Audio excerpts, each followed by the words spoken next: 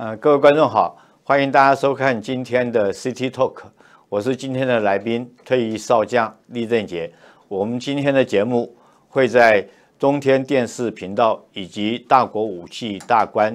On Fire 呃 On Fire 同时双开直播啊，请各位观众帮我们按赞、订阅与分享。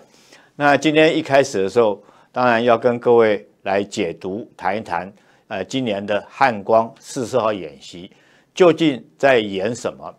一开始，我首先要跟各位观众说明的，我认为这次的汉光四十号演习确实如国防部所说的最贴近实战的一次演习啊。虽然说演习整个过程之中，目前只有国防部的演习之前所召开的记者会，还有这两天媒体报道的资讯，但是我可以研判出来。这次确实是最贴近实战的一次演习。那从中几点，我来跟各位做分析。首先，我们为什么要说最贴近实战呢？因为以往以往来讲的话，认为这个如果说两岸之间解放军要攻击台湾的话，势必会有这个所谓战备集运或者是港口的装载。那这个时间通常最少要一个月。换言之，就是台湾来讲。有可能可以有一个月的预警时间，那有一个月的预警时间，台湾可以从事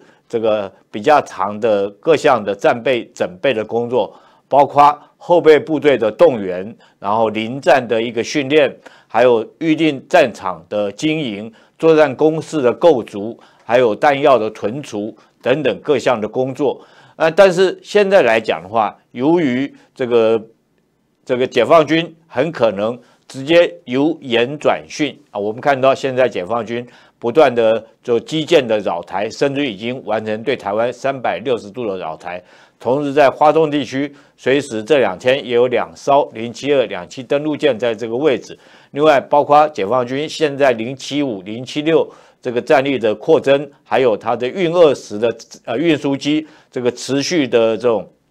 数量持续的增长，所以说很可能在。这个预警时间来讲的话，就会非常的短促，也就是说，解放军可以直接由演习转成作战。那另外也可能借由灰色地带的冲突，也就是说，现在海警跟台湾的海巡，然后双方来讲提高这个层次啊，造成双方这个万一擦枪走火的话，立刻由这个灰色地带作战转成实兵的攻击。也因为如此，在我们台湾来讲的话，国军。势必就这个压缩了预警时间，可能也就一两天的时间，啊，能够得到这种呃作战的这个准备时间。所以第一个跟以往不同的，就是国军在预警时间很短的状况之下，虽然要遭受敌人的攻击，所必须要采取的应对措施，这是第一个预警时间短。那第二个来讲的话，当然我必须要诚恳的说明，啊，以现在来讲，第一级的主动权是在解放军。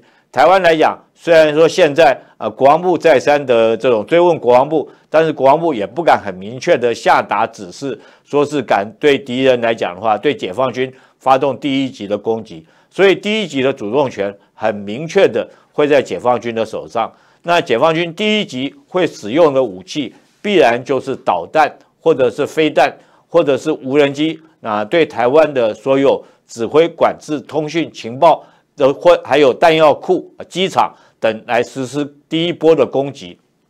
那我们来讲的话，呃，国军来讲的话，这个第一波的攻击之后，可能我们指挥通讯链啊就会断掉，我们的机场跑道啊就会受损。所以这是第二个特征啊，是会用这种跟以往来讲的话，啊，双方来讲，先从制空作战，双方的这种飞机在台海上空互相争夺制空权，然后再来争夺制海权。啊，最后是这个实施两栖登陆的作战形态是完全不同的，所以第一波的时间会用飞弹或者是导弹、无人机啊，对我们来实施攻击，尤其是解放军现在来讲，它的导弹数量这个非常的呃庞大，还有它的这种呃远火 PHL。这个幺九幺的这种远火系统、远火火箭炮也非常的精准，而且这个射程可以涵盖整个台湾海峡，所以第一级势必是由这个飞弹、导弹、还有火箭、还有无人机来发动对我们的攻击。好，那在这种状况之下，我们国军要如何来应对？也就我认为这次汉光四十号演习，国军所演练的项目。因此，我们看到国军在这个时候演练了哪些科目？第一个就是演练的第一天来讲的话，他立刻实施所谓的这个，呃，在第一天的时候，我们实施所谓的呃战力保存，啊，战力保存，所有飞机啊，立刻在争取。在机场跑道还没有完全遭受攻击之前，将所有战机呃转场起飞，飞到花莲或者是台东等这个呃华东地区的洞窟里面保存战力。海军呃新闻报道也有讲，是六二舰队立刻苏泊到海上去啊。但一旦一开始攻击的时候，我们看到的就是导弹跟火箭的攻击。所以今年来讲的话，万安演习啊特别不同的。就是说，用飞弹、导弹、火箭啊，对我们虽然发起攻击，来发放这种警报，也就证明我刚刚所说的。那飞弹、火箭还有这个呃无人机攻击的特色是什么呢？跟一般传统的飞机这个轰炸最大的不同，就是在这个时间非常的短哦。飞机的轰炸来讲，由于飞机飞的时间比较长，尤其是轰炸机来讲，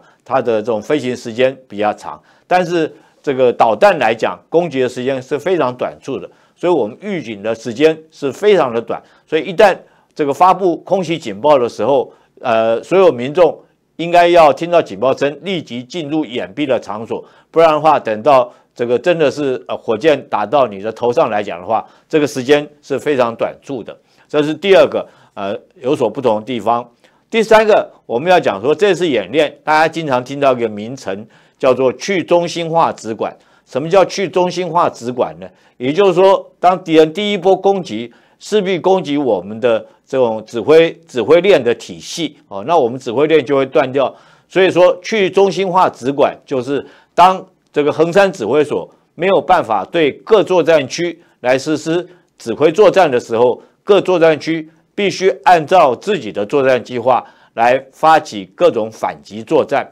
所以，我们在这次演习当中，我们看到的是各作战区里面，整个全台湾遍地开花。从北部的呃淡水河反击，这个海湖地区的呃反登陆作战啊，或者是说这个水南机场的这种反机降作战，还有这个台南洗树海滩、这个屏东嘉鹿塘海滩的反登陆作战，等于全台湾呃各个作战区里面各自指挥为战。但是还有一个特，今年来讲还有一个特色。以往来讲，因为预警时间比较长，所以后备部队还来得及动员编成啊。动员编成之后，你发给这些后备军人武器、枪支，还有要在实施临战训练，让他们复习一下。以往来讲的话，在军中所学的各项武器专长，这整个时间估略要有一个礼拜的时间。但如果敌人虽然只有两三天的预警时间，那这些动员部队还来不及动员编成。没办法实施这个后备这个守第一线担任守备任务，所以说我们看到这次演习几乎都是用常备部队来做打击，直接就打击了哈，就没有所谓的守守备的演练。那其次我特别还要再强调一点，当这个解放军来讲攻台，那我们来讲的话，我们这个国防部也设计设想了，如果说是这个各项的反击行动，包括反空降、反机降。都没有办法达到这个贺阻敌人的目的之后，那紧接着我们最后势必就要转成一种城镇战，想要借着坚固的城镇来这个实施这个持久作战。然后持久作战的目的在什么呢？持久作战目的当然是希望之后啊美军能够来驰援，或者是呃美国同盟的一些日本啊、澳洲这些军队能够来台湾支援啊，或者借国际舆论。或者是国际在经济方面对大陆来实施制裁的这种力量，来减缓我们的压力。因此，到最后阶段势必是所谓的城镇战。这次在国防部的简报里面也讲得很清楚，他最后有一个有一句话叫“城乡守备”。哦，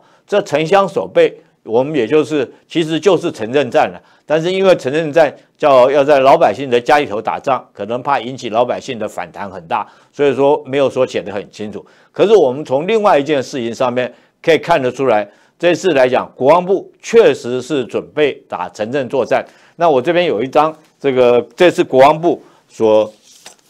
拟定的。这个交战部队交战规则，哈，各位从这张交战规则里面，大部分的叙述，当然条文很多啊，有很多条，但是从这条文叙述里面，你就可以很清楚的了解到，这个交战西行卡是在教我们的这个第一线的官兵，不可以随便的要辨清楚，到底你前方你要涉及的目标是军人还是平民啊，才能够才能够实施攻击啊，不可以对。这个呃平民老百姓来做攻击哈，这个这张信用卡主要写的内容大概是不外这几点。那由这里面我们更可以确定，其实呃在什么状况之下，台澎防卫作战在什么状况之下要叫士兵去辨认清楚，说是平民或者是对方是一个武装的军人，你才可以实施射击。那必然是在城镇战的作战方式之下才会采取这种呃才有必要。发这个交战的规则卡给士官兵来了解。此外，在美国印太司令帕帕罗在上个月也特别说，这个要将台海打造成一个地狱景象。如果解放军攻台的话，话要用无人机、无人舰将台海打造成一个这个地狱景象，然后以利美国以及盟军在一个月之后完成作战准备，来这个攻击台湾、歼灭解放军。从帕帕罗讲的这些话里面，也很明显的印证，就是美国要求我们台湾自己在台澎防卫作战的角色里面扮演一个持久消耗解放军的这种角色。那他时间也具体讲得很明白，这个美军来驰援最少要一个礼拜的，要一个月的时间。那日本在这方面也讲了哈，日本在前天的这种兵推里面，他们也讲说，解放军要一周的时间可以登台哈。那从以上，不管是美国讲的话，日本这个防卫省所发布的这种新闻里面，还有我们台湾自己国防部所提的内容，我们都可以看到，就是台湾来讲，势必是免不了的。这个这场战争打到最后，必然是一个成人作战。那而且只有现有的兵力在没有完成动员状况之下，兵力不足，然后各个反击案也很难。能够彻底歼灭敌人啊！最后我们只有到城镇来实施城镇作战，这是迫不得已的，这是我们的战略。但是我特别要讲一件事情：任何一个国家的军事战略，一定是先考量到啊敌军敌军的状况、敌军的武力以及战斗能力，还有我军的状况，我军到底有多少的兵器，有多少的战力，有多少的部队，还有地形哦，有中央山脉，有这些这个海岸。然后有这个地形状况，然后来拟定我们自己的军事战略。然后你有了军事战略之后，当然你就必须要有呃战术啊，指导各军团或者是各级下级单位用战术来配合。譬如说，在什么地方你要实施反击滩岸的反登陆作战，在什么地方呃机场或者是空降场所你要实施反机降的一个空降作战。那到最后。我们要城呃实施城镇防卫固守的一个战术计划。那有了战术计划，最后你最重要的是必须要有士兵的训练，也就是战斗技能啊，来指导这些士兵来做战斗技能。也就是说，如果说是我们有这一连串的军事战略构想，到最后落实到一个兵身上，你必须要教这个兵怎么样利用地形地物，怎么样在城镇里面呃做呃这个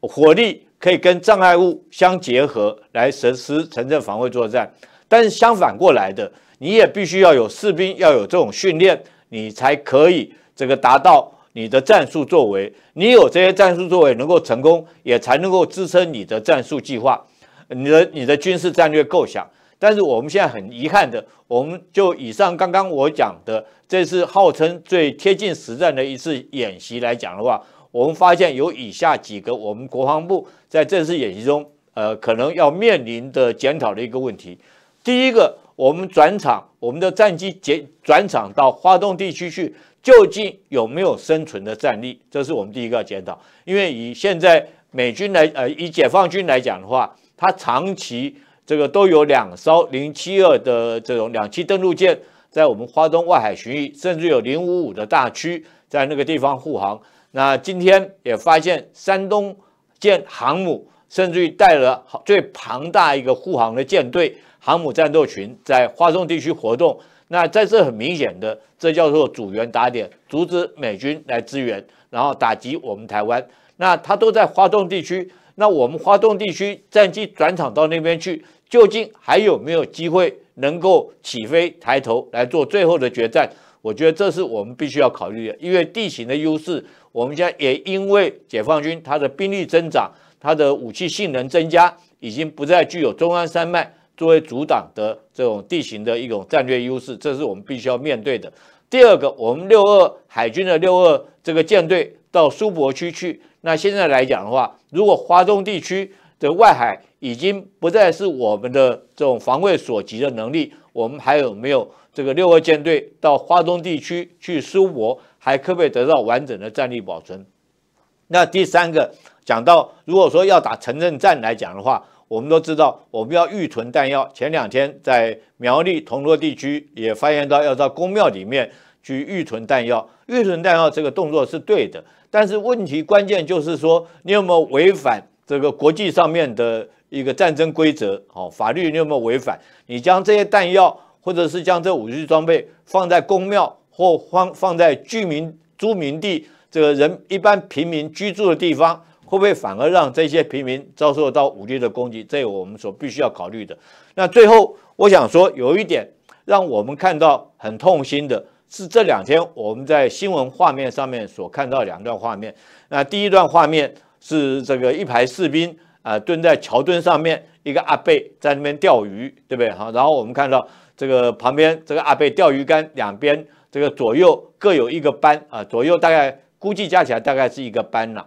然后枪架在桥墩上面啊，这个画面让我们看到很痛心。为什么呢？因为这是最基本的班战斗教练。我相信绝对没有解放军会沿着这条河游泳过来进攻的，这是不可能的事情。那这时候士兵应该要到哪里？应该是沿着河的两岸来疏散部署。尤其是说，我们都知道，一颗手榴弹，尤其是现在无人机很快就可以侦测到，说你这有十几个人、一团人在这个地方。如果一颗手榴弹下来，爆炸半径威力十公尺，是不是这些士兵啊就当场全部阵亡？再说啊，如果说按照这种形式来判断，我觉得敌人来讲也不可能呃从这河这个中间游泳。来攻击你，好，他要攻击也是沿着河的两岸来攻击，绝对不会从这边。那可见的，我们这次来讲，既然号称实兵实地，那战时的时候，这些士兵应该要部署在哪里，编成一个班的阵地，我觉得这都没有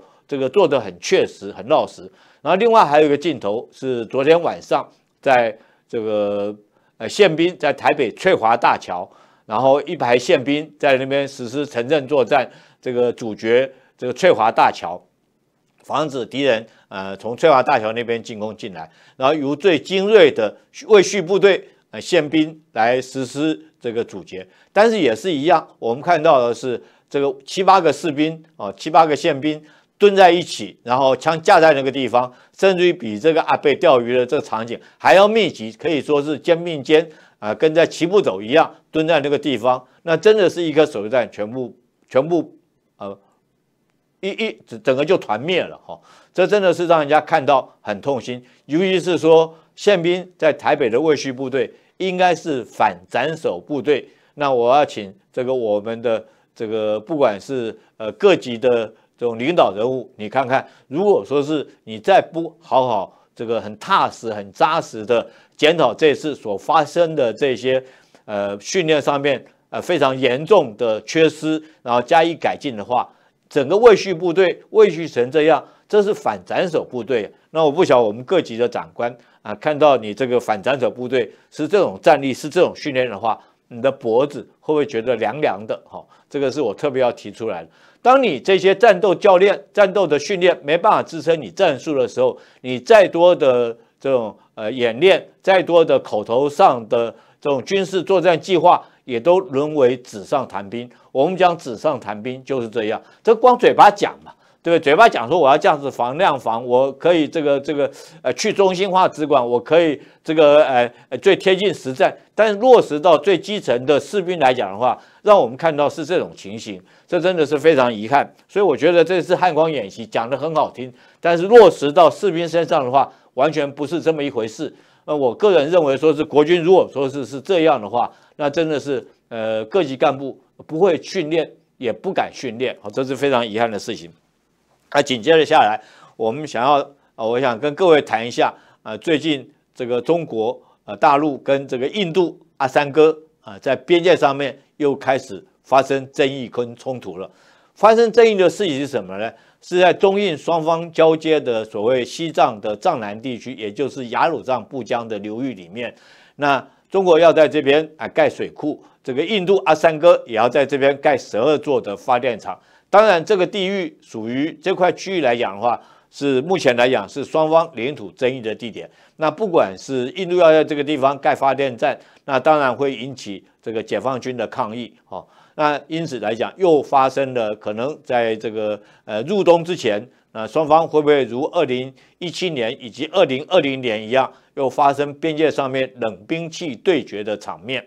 那当然，我必须要强调哈，这次来讲的话，呃，印度呃三哥特别这个针对二零二二二零二零年那次的边界冲突，呃，他们有做深切的一个检讨。二零二零年发他们那次的边界冲突。印度阿三哥他们的军队做了什么动作呢？我记得我那时候看到那个场面了，我真是瞠目结舌。他们将七 T 七十二重型战车那样一辆战车有四十吨重，要开到喜马拉雅山，也就是双方争议的地点班公湖那个地方，海拔四五千公尺高。那时候我就对，那时候镜头上面就经常看到他这他这个重型战车由于过那个桥梁。在山上那么高原地区，以印度的基础建设来讲的话，那些桥梁根本就不可能承受四十吨重的重量的战车从上面压过去。果不如其然，哈，这个战车在当时就有好几辆翻覆到山谷里面去了，因为桥断掉，翻覆到山谷里面去。但是三哥还是非常的勇敢，将这些战车都开到山上去了。那时候我就断言说，哎，这些战车上得去，对不对？下不来。就跟小老鼠上灯台偷吃油下不来一样，哈，就上去了下不来。现在果不如其然，呃，在今年年初的时候，印度号称哦，在山顶上面建立一个全世界最高的海拔、最高海拔的一个坦克维修厂。他为什么要建这个坦克维修厂呢？或许听起来很吓人，好像他用要用 T 七十二重型战车在这边这个展现他跟中国解放军对抗的决心。可是我个人的研判，好，不是这么一回事。我个人研判是那些 T 七十二战车在二零二零年开上去之后，它下不来了，所以它必须要将坦克的维修的这种保养的零附件哦送到山顶上面去做维修。好，那三哥突然发现说，在二零二零年他这战车上了去下不来以后，那他才注意到说是解放军用在这高原地区用的是什么样的战车武器呢？啊，解放军呢用的叫做一五四轻型战车。啊，这个一五四轻型战车重三十吨。啊，当然它整个特别经过设计，因为在高原上面来讲的话，你的空气比较稀薄，含氧量比较少。啊，所以说是发动机的动能来讲的话，跟在平原上面可能会下降到百分之四十，所以说呃，解放军这个一五型的战车来讲，它特别呃设计的第一个重量要比较轻啊。第二个来讲的话，它适合高原地区的运动，马力要比较大，所以解放军他用了这种呃一五四的轻型战车部署在这个双方争议的地点，也就是班公湖这个位置哈。那三哥看到这个解放军有这个一五四的战车，他当然这个也要呃立刻这个也要迎头赶上，所以他短短的四年时间啊，短短只用了四年时间，也发展出来轻型战车。那最近刚亮相。叫做什么战车呢？啊，叫做佐拉瓦轻型战车哈。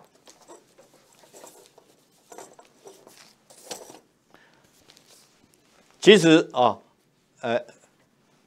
我要特别讲哈，这个佐拉瓦战车哈，能够以四年的时间那发展出来，确实是呃，在战车的发展史上面，这个进展的速度之快，是列为全世界第一名的。因为一般战车从开始这个设计哦，到研发啊，到试用，到量产生产，大概平均都要十年以上啊。印度自己之前的阿琼式战车哈，阿琼式战车，它总共呃也是花了十几年才做出来哈，他花了而且花了两百零七亿美金做出来阿琼式战车。那原来的重型战车阿琼式战车用了多久呢？呃，用了大概呃不到一年，哦，就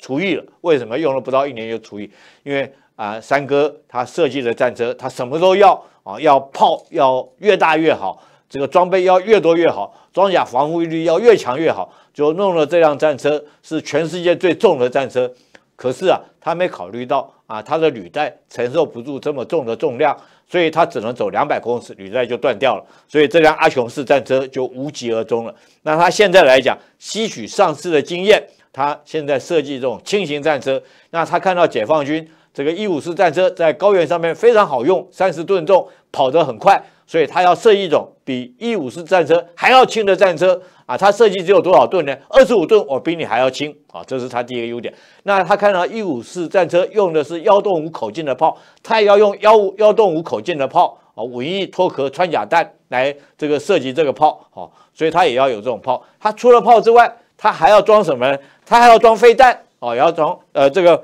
法国的，各位可以看到这个地方哈，旁边这个地方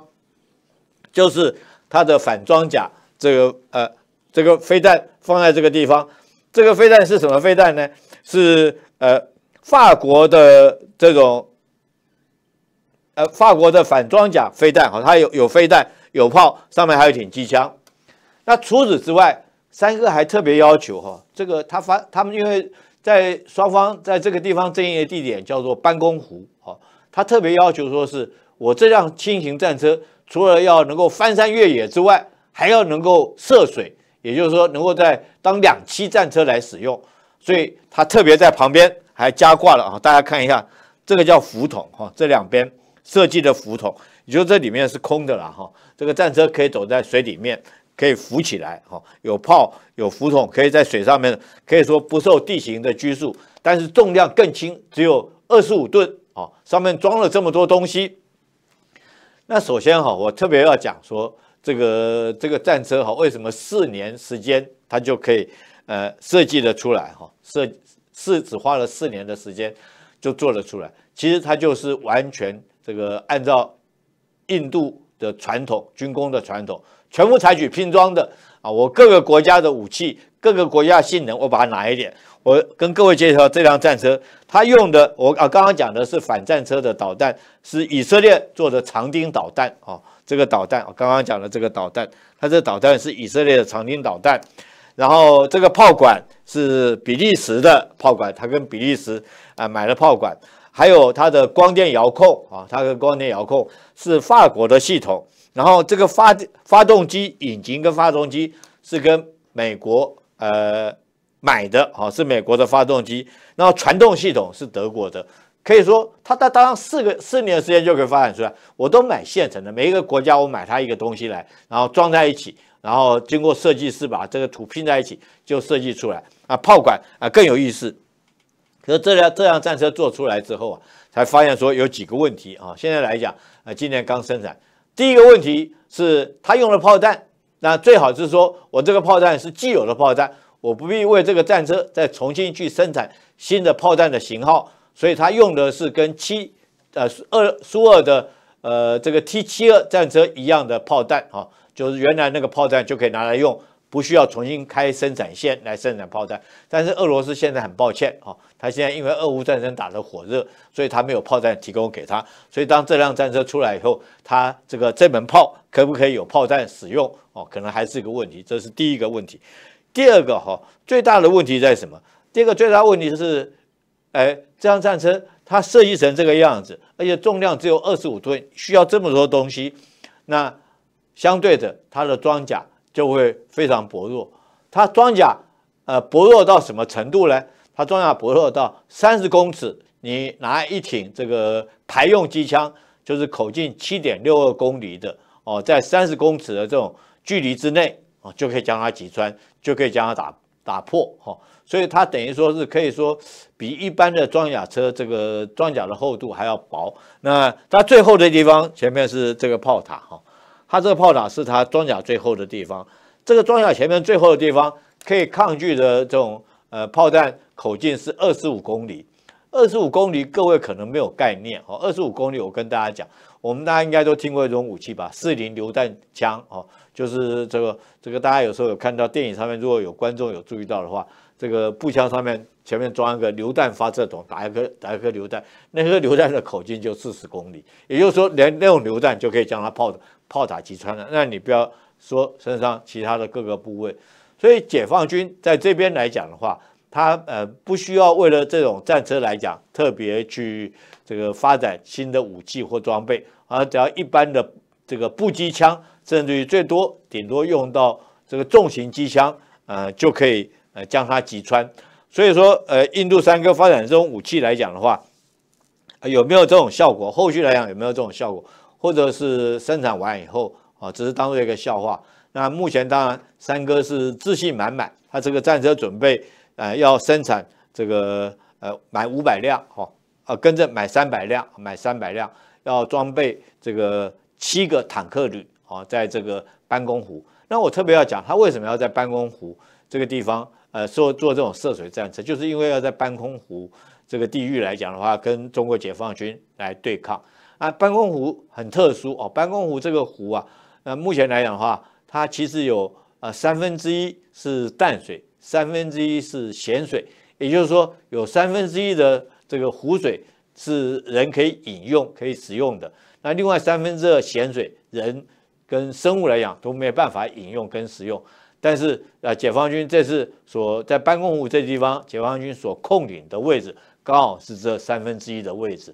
那另外三分之二盐水湖的地方。是这个三哥所控制的位置，所以三哥一直想要争取控制整个班公湖，不然他在部队在这个地方是没有水源啊可以用的啊。另外在另外一个地方就是呃这个中印边界冲突另外一侧就是洞朗那个地方，洞朗在二零一七年发生边界冲突的时候啊，那时候解放军因为机场只有一个拉萨机场距离比较远，所以空在这个。制空作战方面来讲的话，由于印度是在平原地区，所以它在这个地方有七个机场。那当然在制空作战方面就会比较吃亏一点。但是现在来讲啊，解放军特别在日喀则这个机场，也就是距离洞朗哦，距离边界纠纷地方啊，只有这个大概只有一百五十公里，部署了一个呃整建的一个军民两用的机场，叫日喀则机场，距离洞朗只有一百五十公里。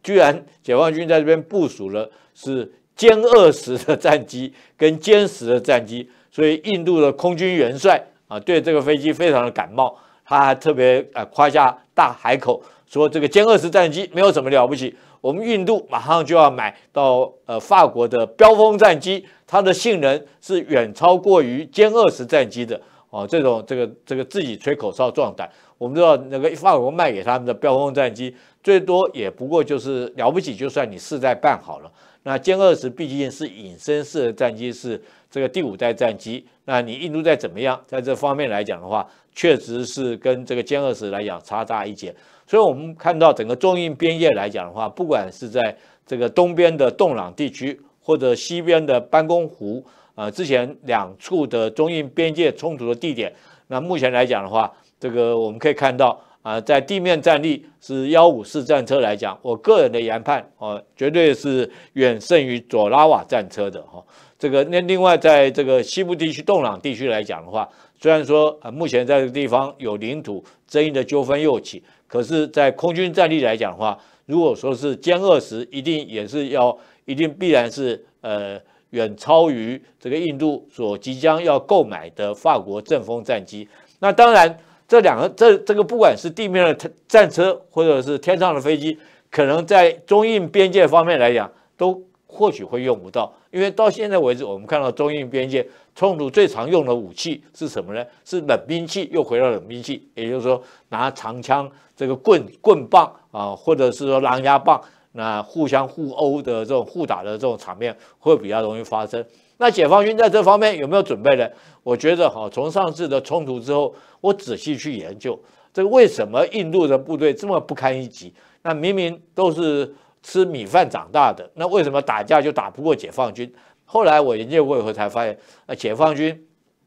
在这个边界上面，呃，这些军队来讲的话，这个准备要打肉搏战，准备冷兵器这个作战的军队来讲，很多的战士，他以前他是在这个少林寺或者是武术学校，是从四五岁开始就进去习武的，所以他不管是这个长棍或者短棍，你知道，呃，这个武术里面，中国武术里面，呃，少林寺的齐眉棍，对不对啊？或者是三节棍或者短棒，哈，都有这种相相对的武功。那如果说在这些棍子棒子上面缠上这个铁丝网，就会变成狼牙棒。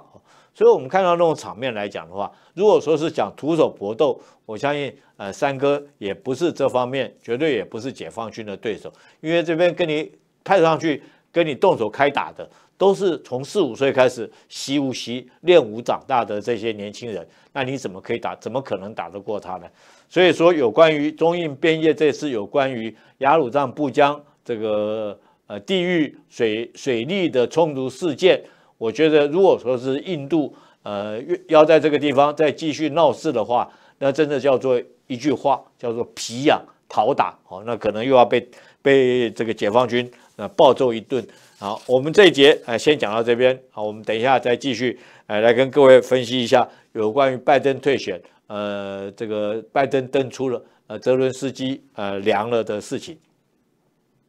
中天军事频道，大国武器大观 on fire，聚集战略专家、军事将领，专业评论，洞悉全球最新军武动态。请订阅频道，记得开启小铃铛，不要错过芯片上架和即时直播。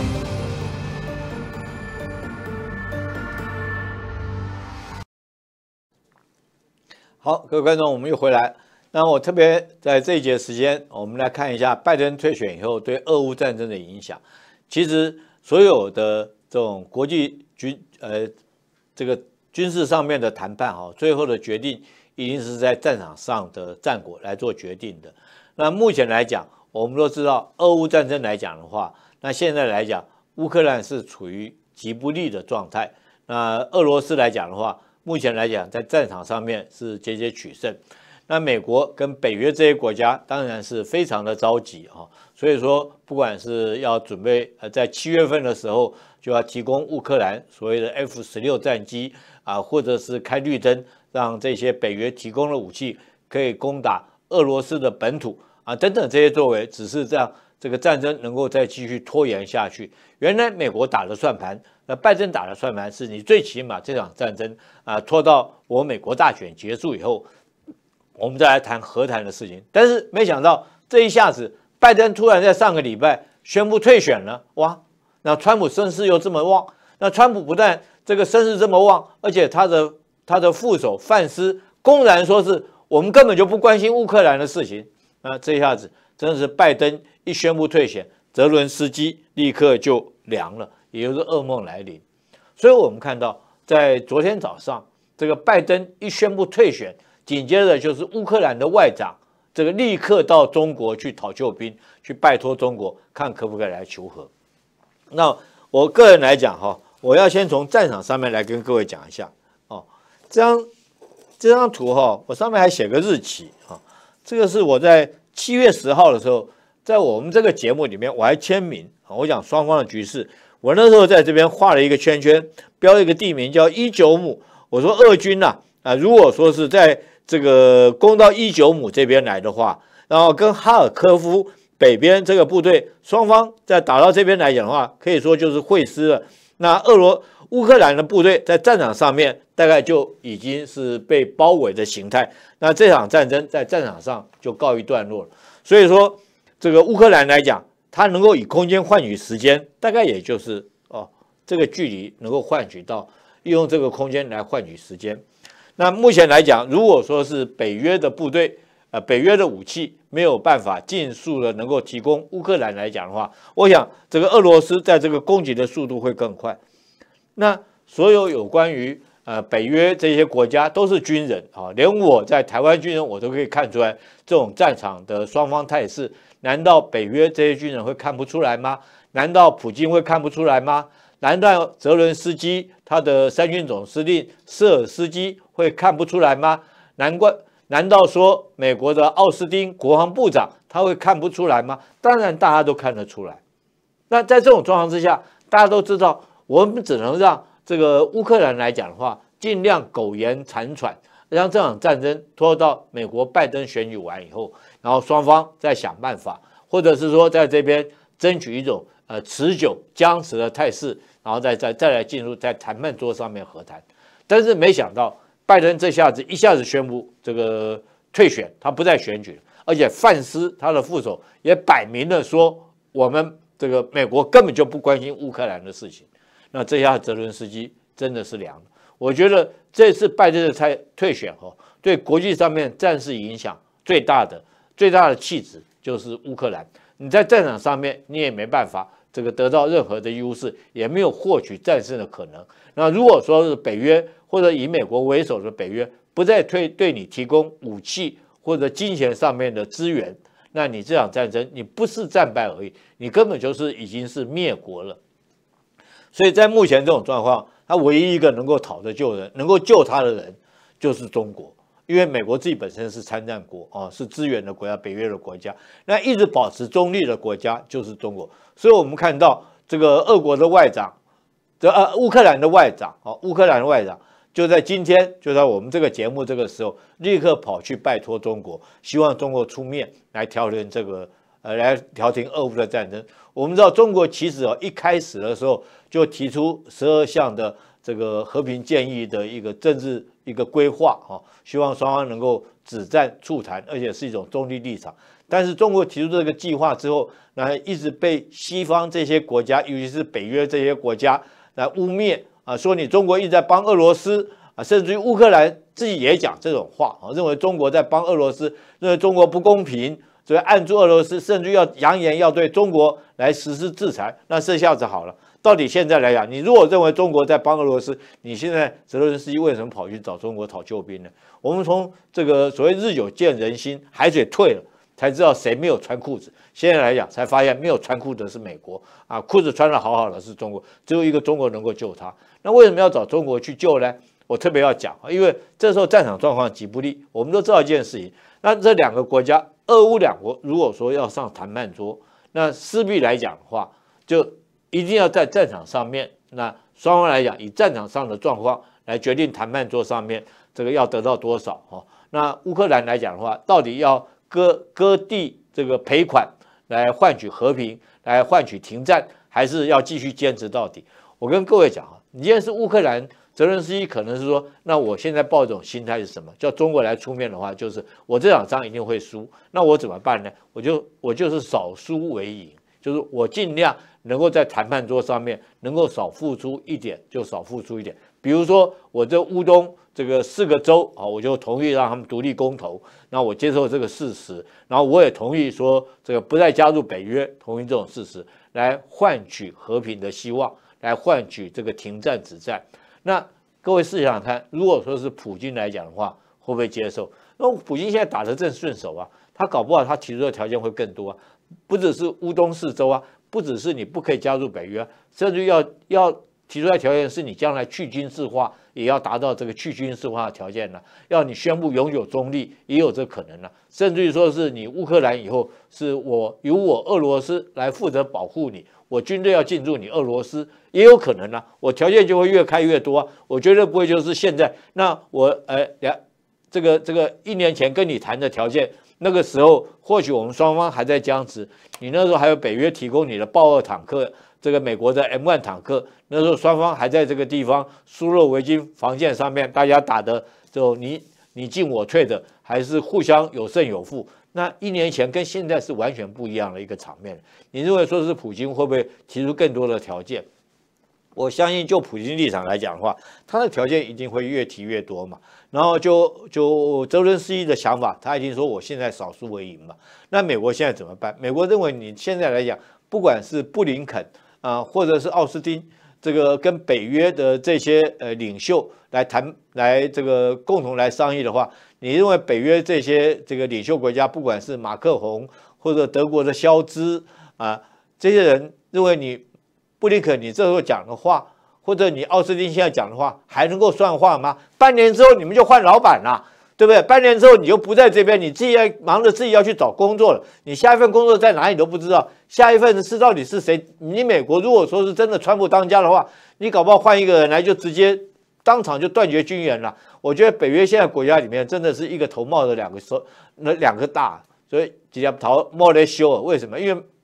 这个川普讲的很明白哈，他这个你这些德国哦这些国家，你如果说要我美国。去驻军来讲的话，你们要付保护费啊，搞不好现在德国来讲正在烦恼他要付多少保护费的问题啊，他哪还有心思去帮你乌克兰呢？包括日本这些国家，韩国也是如此啊，包括我们台湾，他公然叫我们台湾 要付保护费了嘛，对不对？然后日本、韩国呢，那更严重，因为日本、韩国本身美军驻军在那个地方。那你要不要付保护费？你不保付保护费，我就撤军。德国也是美军住在那个地方，北约国家这些都是美军驻守在那边。那如果川普一当选，对不对？他认为说你们这些国家要付保护费，不然的话我就撤军。我觉得这个事情是非常有可能发生的事情。由于现在川普声势正旺，所以说北约这些国家来讲的话，他们就要思考到下一步，对不对？俄乌战争我们怎么样能够在呃付出最少的一种代价之之下？能够来结束这场战争。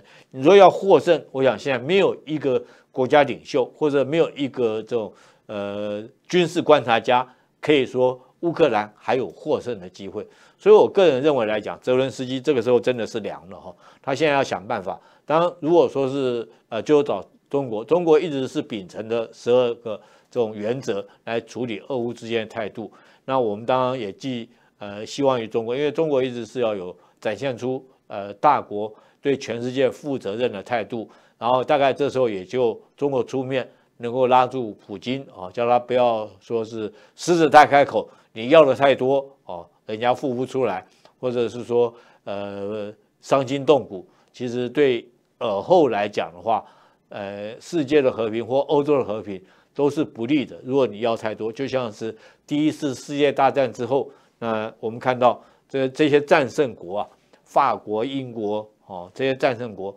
对德国是这个极尽的羞辱哦，所以最后造成第二次的世界大战。所以你如果说战胜来讲的话，我们《孙子兵法》有一句话，就战胜攻取而不修其功者，是为废流大凶。就是说，你要你如果战胜的话，你像俄罗斯如果战胜的话，那你要想办法说，我去治理我战胜的地方，我能够让这个地方的民众能够治理他们啊，能够让他们。这个发展他们的经济，改善他们的生活，然后让他们恢复元气哦，他们才会顺从服从你。这是中国传统的这种呃国家的这种武学的思想，在这个地方，而不是说像西方国家，我占领了这块地方就残害你的人民，掠夺你的资源。那只有让这个仇恨以后更深。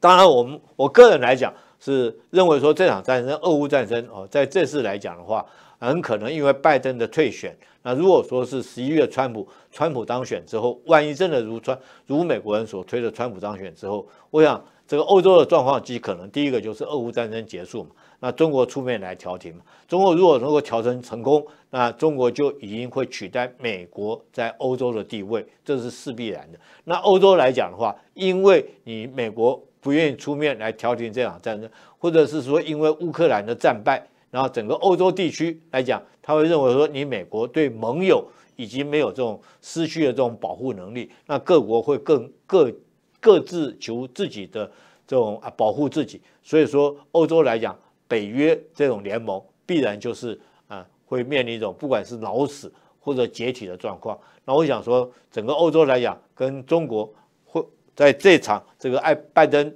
这个退选之后，如果说川普上台。他的现实主义，他所谓他自己的务实主义，然后可能会让中国的势力对欧洲来讲的话，影响会更深更远，这是必然的一个情形。也就这次来讲，我认为拜登如果说退选啊，已经事实退选了，呃，那如果说川普当选的话，对整个俄乌的战局，对整个欧洲的形势啊，个人所做一个分析跟研究，在这边跟大家做说明。好，呃，最后一点时间了。我想跟大家来讨论一下这个南海的局势哈。南海最近有很大一个变局哈。南海最近有很大一个变，因为中非两国哦，经过这个七月初这个两国的副外交部长级的会议以后，呃，商定一个原则，也就是说，南海局势很明显的在降温了啊，在降温。那中国外交部宣布三个原则，哪三个原则呢？第一个，第一个原则，南海主权，这个马德雷三号仁爱礁，或者是说黄岩岛啊这些地方主权是这个中国的，这是毋庸置疑，这是第一个。那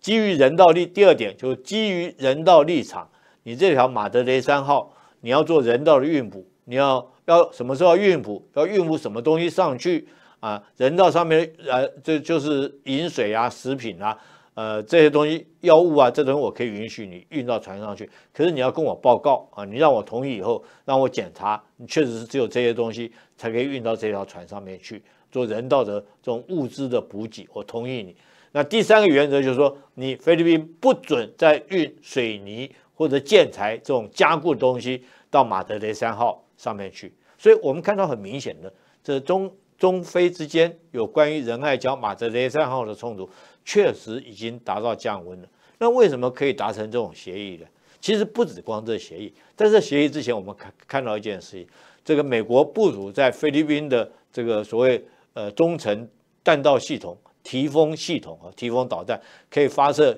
战斧型巡弋飞弹，它也撤走了。那美国为什么又撤走？然后菲律宾也同意在南海地区这个认怂服软了呢？等于说美菲两国在这边都服输服软了。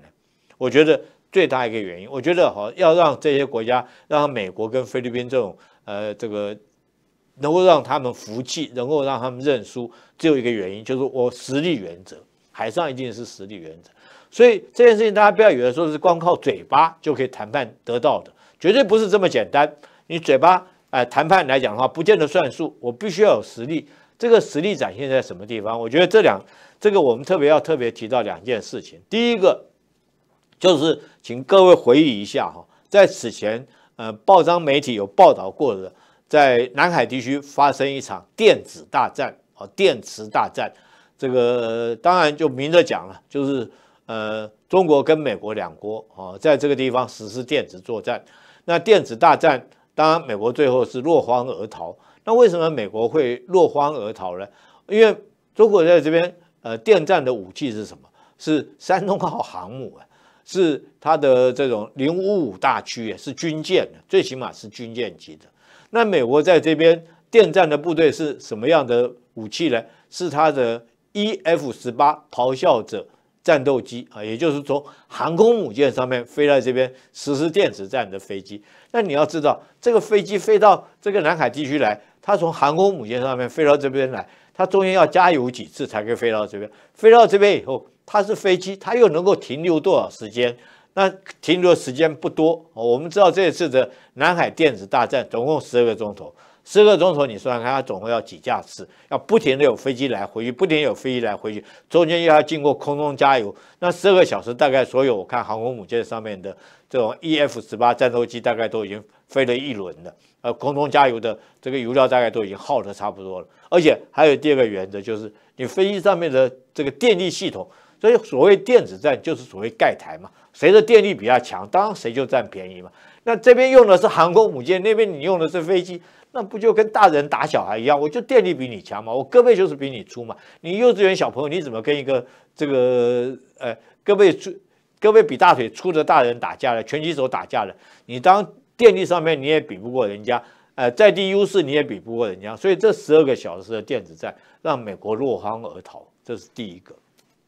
第二个，我觉得什么是在六月十七号，大家应该都还记得吧？六月十七号发生什么事呢？就是中菲两国的海警，哈，这个菲律宾来讲，他用他的海军特战部队啊，要到这个马德雷三号去分四路啊突袭，要去马德雷三号运补，但是被中国的海警拦下来，那双方还在海上啊发生这个冲突，那事后是这个菲律宾的特种部队被中国的海警，哦，这讲也很丢脸，军人呢？是海豹突击队，就居然被警察缴械啊！这一箱枪，八支枪被缴械了。那其中有一个菲律宾的特警哦，这个指头大拇指还断掉，还被砍断了。那自己到底是自己夹断还是怎么样不知道，总之就是断了一个手指头，然后他们的这种啊用的气垫船也被戳破啊，可以说是打得非常的狼狈。那中国依据什么来呃六月十七号这个事情？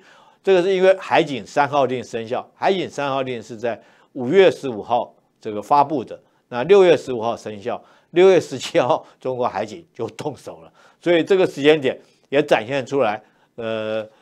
中国海中国海警啊，这个维护海上海权的领土的决心，让美国跟菲律宾啊都可以看得出来，中国已经下了这决心。我觉得也就是因为这两件事情。第一个就是说，我在海上，如果说是电子作战，你美国就是没有在地优势嘛，你就是要这个从大老远的地方哦，才能够，不管是将来你来的是航空母舰啊，或者是舰载机，你就是要从很远的地方才能够赶过来。那我在这个地方，我就有这个在地优势。第二个来讲的话，我这种电子战，除了电子战之外，我的武器性能绝对也优于你。我不管我的这种长城的。对舰导弹啊，那大家伙还在后面，或者是轰六 K 可以携带四枚的鹰击二十一啊，这种对航母攻击的这种飞机啊，或者是说这个零五五大驱，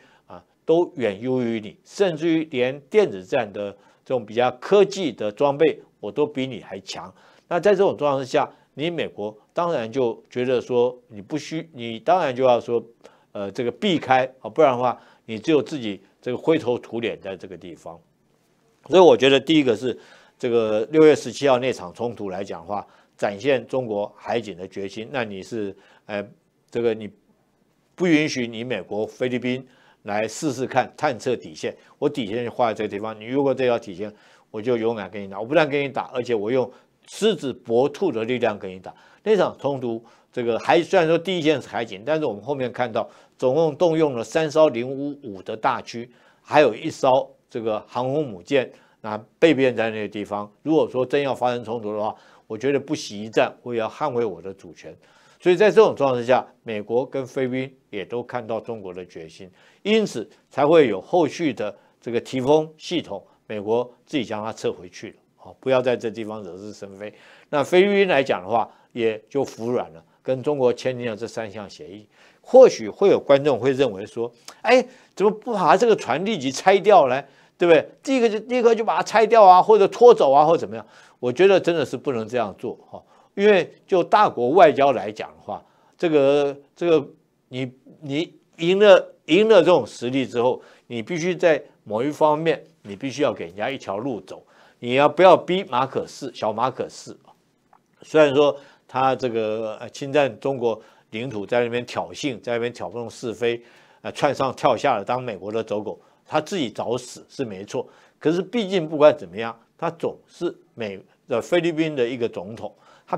毕竟是呃对菲律宾的人民，